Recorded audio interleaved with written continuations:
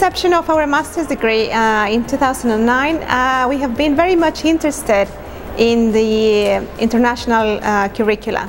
And not only in how international is our groups of students, but also how international we can go in terms of uh, collaboration with other uh, research groups, uh, different institutions in the world. And this time we had the great opportunity to work with the team that comes from the Polytechnic Institute of Catalonia, uh, Structural Morphology in Architecture Group.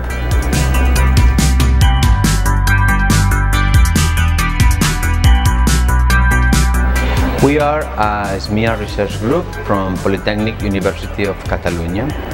Our research is about structural morphology applied in architectural and lightweight structures.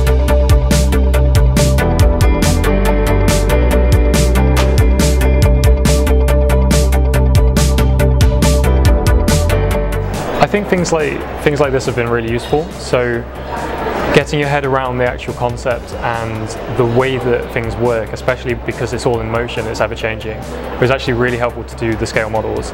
So instead of just jumping straight into a big prototype, having something that you can use in your own hands and explore was really helpful to get your head around it.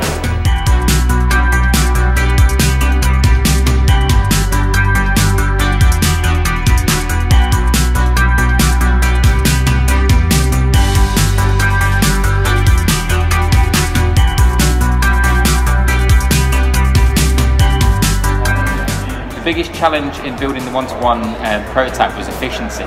So you, have got a supply chain of students or uh, people taking part in this activity, but it's all about how you can make it as efficient as possible uh, and with precise measurements every single time because that's key to these uh, deployable structures.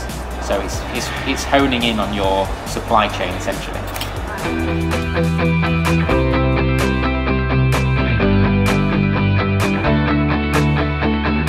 I think the biggest challenge was um, mostly coordination through everyone, to be honest.